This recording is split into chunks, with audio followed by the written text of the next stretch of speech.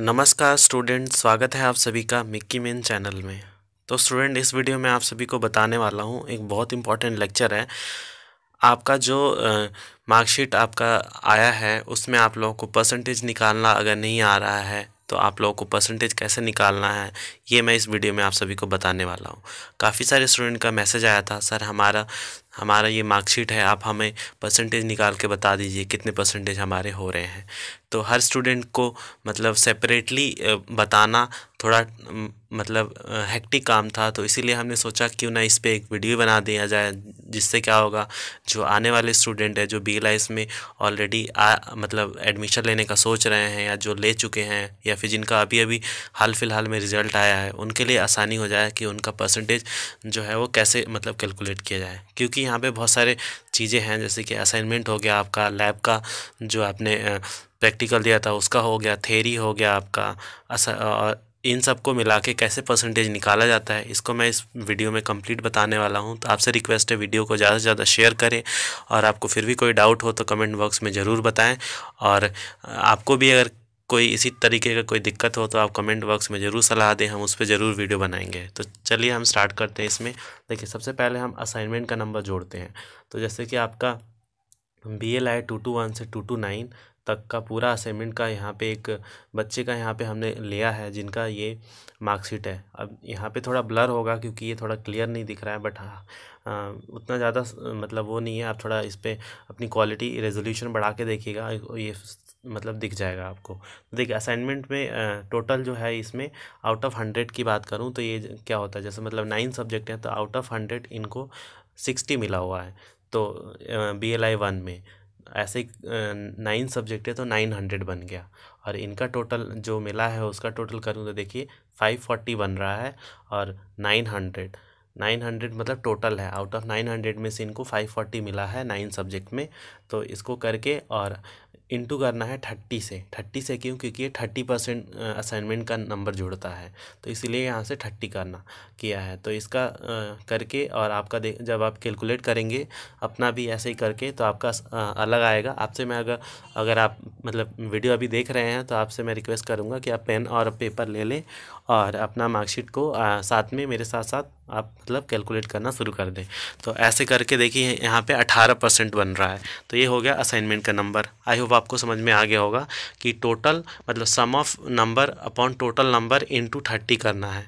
तो उसके बाद आपका असाइनमेंट का नंबर आ जाएगा। ये परसेंटेज में आएगा। फिर क्या करना है? जैसे टू टू फोर में देखिए, पहले मैं ऊपर का ये मार्कशीट दिखा देता हूँ। टू टू फोर एक टू टू नाइन ऐसा सब्जेक्ट है जिसमें आपने प्रैक्टिकल दिया था। प्रैक्टिकल मतलब लैब वाला प्रैक्टिकल उसका आपको सेपरेट नंबर मिला हुआ है। तो जैसे इनको मिला है forty six and forty two तो इनको हम अलग मतलब पहले इनका निकाल लेंगे क्योंकि जब हम पूरा टोटल करेंगे तो ये फिर छूट जाएगा। तो इसको हम अलग तरीके से पहले निकाल लेते हैं तो इसके लिए क्या करेंगे? जैसे forty six plus fifty seven क्योंकि हमने असाइनमेंट का नंबर ऑलरेडी ऐड कर दिया है तो इसको हमने ऐड नहीं करेंगे। हम सिर्फ़ प्रैक्ट लैब वाला और यहाँ के जो टोटल थेरी इनको मिला है, उनको ऐड करेंगे। ऐसे ही सेम टू टू नाइन में भी फोर्टी टू प्लस फोर्टी तो देखिए नीचे मैं इसको करके दिखाता हूँ। देखिए टू टू फोर की बात करूँ तो फोर्टी सिक्स प्लस फिफ्टी से fifty seven is equal to one zero three one zero three बन रहा है। और उसको अगर आ, उसको उसको टू से करेंगे तो आपका यहाँ पे पूरा इसका मार्क्स मतलब निकल जाएगा। प्रैक्टिकल क्योंकि ये जो होता है आपका थर्टी फाइव नंबर का होता है तो इसीलिए यहाँ पे टू लगाया है। तो आपका ये फिफ्टी फाइव पॉइंट फाइव ये टू टू फोर में आया। सेम ऐसे ही रहेगा टू टू नाइन में भी। फोर्टी टू प्लस फोर्टी ये फोर्टी टू जो है आपका लैब का नंबर है और फोर्टी आपका थेरी का है। और is equal to eighty two बना और फिर इसमें सेम टू से करेंगे तो यहाँ पे फोर्टी वन मार्क्स मिला। तो दोनों का हमने निकाल लिया। देखिए टू टू फोर का और टू टू नाइन का। अब हमें क्या हुआ? Two two four and two two nine का निकाल लिया तो ये जो लास्ट का जो फिफ्टी सेवन था, ये नहीं रहेगा। अब यहाँ इसके जगह पे क्या आ जाएगा? ये आ जाएगा फिफ्टी वन पॉइंट फाइव और उसके टू टू नाइन के जगह पे फोर्टी वन यहाँ लास्ट में जो फोर्टी है लास्ट का, वहाँ पे आ जाएगा। अब इनको थेरी वाला ऐड करेंगे। अब ये हमारा पूरा हो गया, अब थेरी को ऐड करते हैं। देखिए थेरी को हमने ऐड किया। Total out of nine hundred मतलब पूरा नौ सब्जेक्ट है तो सौ में से ही पड़ेगा तो टोटल इस, इनका बन रहा है फोर एट्टी।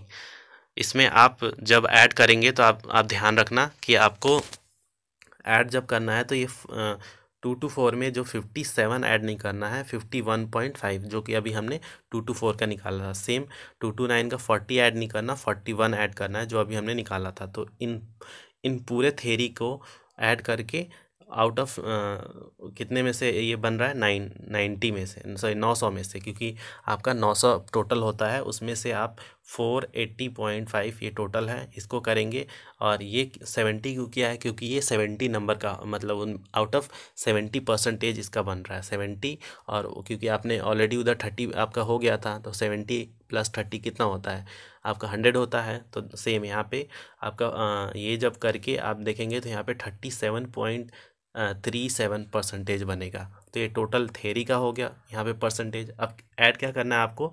थेरी वाला ऐड करना है, क्योंकि हमने इसको ऑलरेडी इनको ऐड नहीं करना। इनको तो हमने प्लस कर लिया था जब हम टोटल में ऐड कर रहे थे। और प्लस आपका असाइनमेंट का ऐड करना, अठारह परसेंट ये दोनों। अब देखिए, इन दोनों को ऐड करेंगे। यहाँ पे देख लीजिए assignment plus theory is equal to total तो असाइनमेंट प्लस थेरी अब जैसे कि मैंने आपको बताया था, जो असाइनमेंट होता है वो थर्टी नंबर का होता है और जो जो आपका थेरी होता है वो सेवेंटी नंबर का होता है।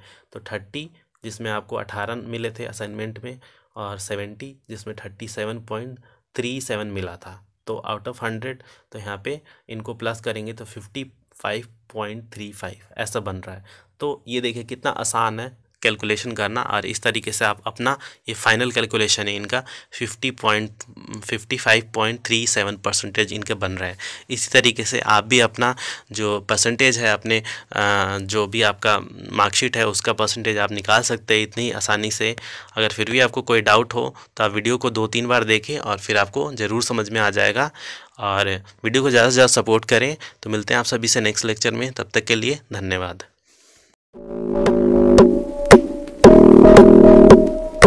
you